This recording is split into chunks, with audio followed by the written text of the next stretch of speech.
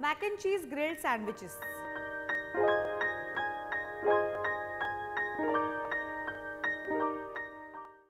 Hi, welcome to Sanjeev Kapoor Khazana. My name is Zai and let's make a tempting sandwich with macaroni. The name of the recipe is mac and cheese grilled sandwiches. Let's quickly go through the ingredients. We need boiled macaroni, cheese slices, refined flour, bread slices, milk, butter, crushed black peppercorns, salt. So very simple ingredients. Let's start making the white sauce for the mac and cheese sandwiches. So for that, we have to heat some butter in a non-stick pan. I'm going to keep some butter aside so that I can apply it on top of the bread slices before I grill them.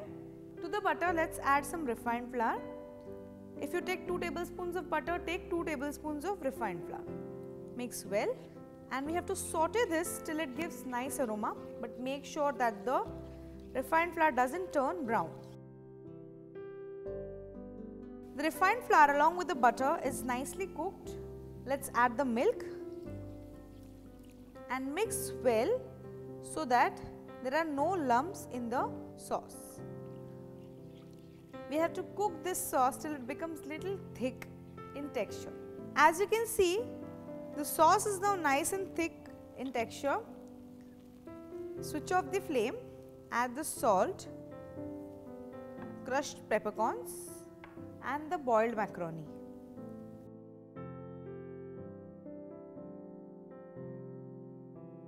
Mix well and set this mixture aside to cool down before we grill the sandwiches. So sauce with the boiled macaroni is now cooled down a little bit. Let's arrange the bread slices on the worktop and apply butter on one slice.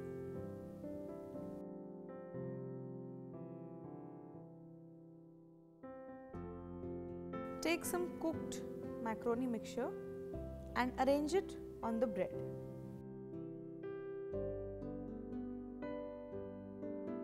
Take the cheese slices and arrange on top of the macaroni mixture. Cover with the remaining slice of the bread and apply some butter on top.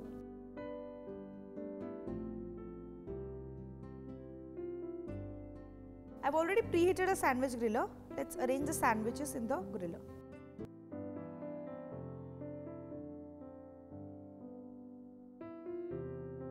Grill them for 4 to 5 minutes or till the grill marks are nicely seen on the surface. Okay, let's see if the sandwiches are grilled. Yeah, nice and golden brown in color. Okay, the sandwiches are out of the sandwich griller. Let's cut them into fingers. Arrange them on the platter.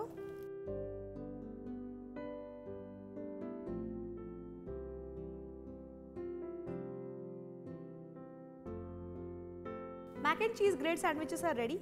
Favorite recipe of kids? Do try it.